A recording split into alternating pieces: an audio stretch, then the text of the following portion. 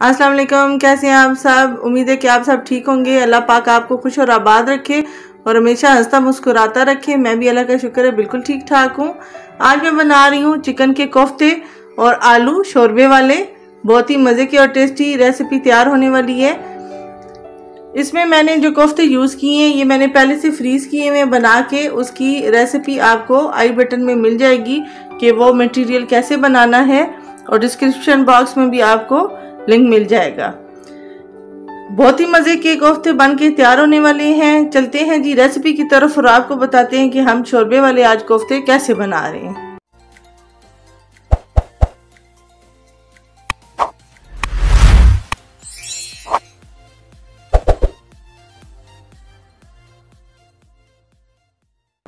आज मैं बना रही हूँ आलू और कोफ्ते का सालन, जिसके लिए मैंने दो टमाटर ये ले लिए और तीन अदद प्याज दरमियाने साइज़ के ले लिए कढ़ाई मैंने ले ली है, इसमें मैं ऑयल डाल रही हूँ, तकरीबन चार से पाँच टेबल स्पून। अब इसमें मैं डाल रही हूँ, हाफ़ टी स्पून ज़ीरा डाल रही हूँ। ज़ीरे का कलर थोड़ा सा चेंज हो गया है तो अब हम इसमें ये जो प्याज और टमाटर मैंने लिए थे, इसकी मैंने पेस्ट बना ली है, ये ऐड कर रही हूँ।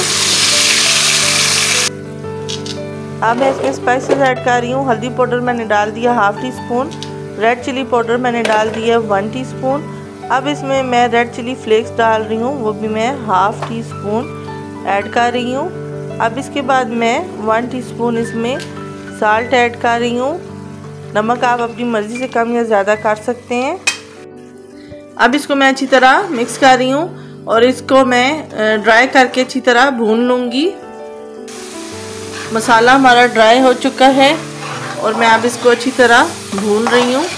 मसाला जितना अच्छा भुना जाएगा उतना ही सालन का जायका मज़ेदार बनेगा। इसलिए मसाले को अच्छी तरह भूनना है ताकि प्याज का जायका जो है वो आ, कच्चा ना रहे। अब मसाला हमारा अच्छी तरह भुना जा चुका है। इसमें मैं ऐड कर रही हूँ ये कोफ्ते। कोफ्ते मैंने पहले से ये तैयार करके फ्रीज़ किए हुए हैं। ये भी इस टाइम फ्रीज़ हुए हुए हैं। इसकी रेसिपी मैं पहले शेयर कर चुकी हूँ। जो डिटेल इसके मसाले की रेसिपी आपको आई बटन में भी मिल जाएगी डिस्क्रिप्शन बॉक्स में भी मिल जाएगी और एंड स्क्रीन पे भी मिल जाएगी। वहाँ से आप इसके मटेरियल की रेसिपी ले सकते हैं।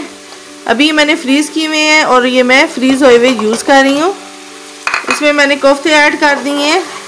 ये पकने के दौरान ही डिफ्रास्ट भी हो जाएँगे। पहले से इनको डिफ्रास्ट नहीं करना, क्योंकि फिर ये अच्छे बनेंगे नहीं।